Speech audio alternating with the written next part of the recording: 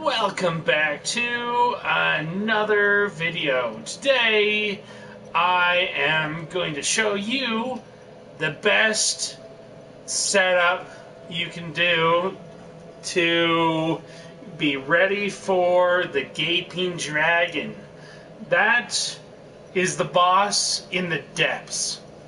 Once when you can get there, you'll have no worries of course, you'll still need Solaire, but the rest of it you can pretty much do and survive.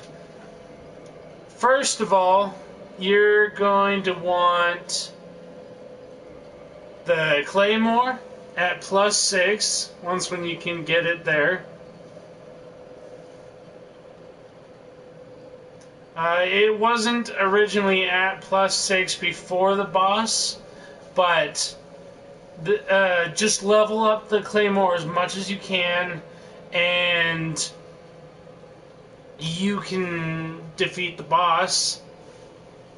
You need the pyromancy flame. Once when you can find the the pyromancer I upgraded the flame after the boss, so you don't need to worry about that. And the shield. You don't need it plus three to start off with. You'll need your flask, of course, and humanity. The clumps you don't really need till you beat the boss. Uh, you need a rusted iron ring and the ring of the evil eye, which you'll get in the maze in the depths. You'll need black leather boots, black leather gloves, black leather armor, and the thief mask I upgraded these after the boss, so you don't need those either.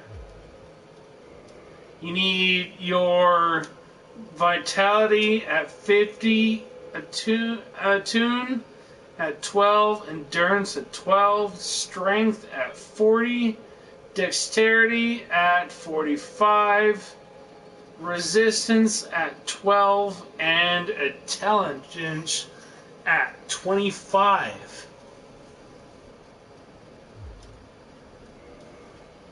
This is pre Gaping Dragon mode, pretty much. Uh, don't forget to check that description if you haven't. Hit that bell icon for further videos. And have a great day, night, evening, as much as possible. And I'll see you all in the next. Peace.